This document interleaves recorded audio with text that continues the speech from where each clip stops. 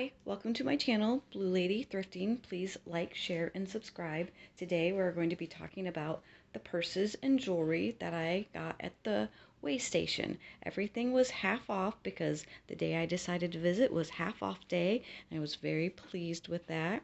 We're going to start with the jewelry.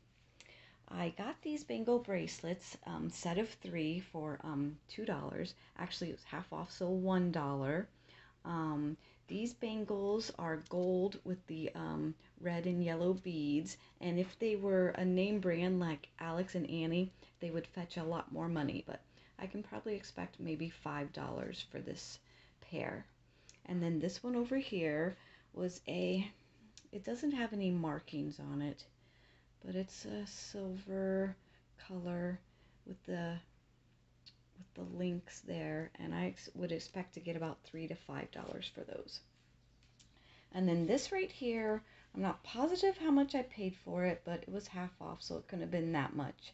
Um, lamp work glass leaf or possibly shell um, ribbon necklace I can expect um, five to twenty dollars for the necklace and for the earrings. So I can sell those separately at five to $20 each, or I could put them together as a set. But it looks like some hand blown art glass there, and there's the earrings. And then this lot next to it, I paid $3 for it. Um, I got the pendants right there, the art glass pendants. Yep, that's Molly playing with her bone in the background. Um, these art glass pendants I can expect um, about five to ten dollars each for. And then the multi-bead flower necklace bracelet and earring set I can expect about $15 for the set. So it's got the bracelet with the little flower, the beads to make to look like flowers, and then the dangly earrings and the necklace. So that was all in one lot together. And then all of these pieces were in a lot together for um, $2.50. And these fabric covered cufflinks, if I sold them, I could probably get about $5 each for them. But they will probably go to my husband for Father's Day. Then right next to them were some stainless um, cufflinks. And I could probably expect about $10 for these. But these are actually going to go to my son since they are monogrammed with his first initial. Then the last pair of cufflinks were these gold signet cufflinks. And I think I can expect about $25 for these. I couldn't find the specific ones because I couldn't really tell what this markings were, but similar ones sell for about that. Then this over here I also had to look up. This is a belt tip um, and keeper set. So I can expect about 5 to $15 for these.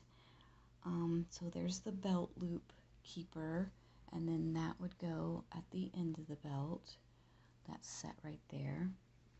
Then the last set was this over here, this vintage collar tip lapel button um, western wear. It's got a it's got a cowboy hat on it with like a rhinestone cowboy. And I looked up the patent number, the patent number on the back, and it's a collar tip, but there's only one unfortunately, and you would need two. So I'm going to sell these two together. And this is a tie tack, this uh, this cowboy hat tie tack and the back did come off so I'm going to have to fix that. But I'm going to sell those together and either someone's going to like the the tie tack or someone has lost their collar tip and needs a new one. So probably put those together for about 10 to 20 dollars. And that was it for the jewelry.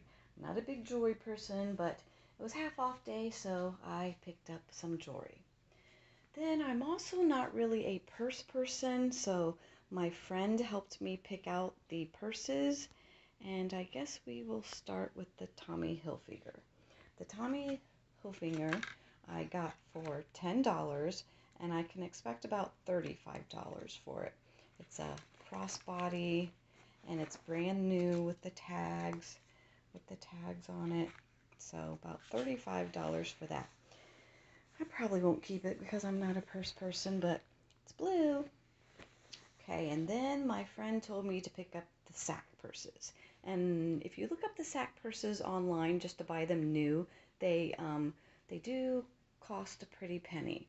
But the used ones for resale don't really resell for that much.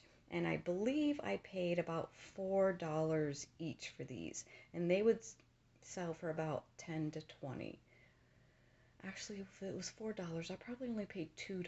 So that's a pretty good deal. $2 each, and they would sell for about 10 to $20 each.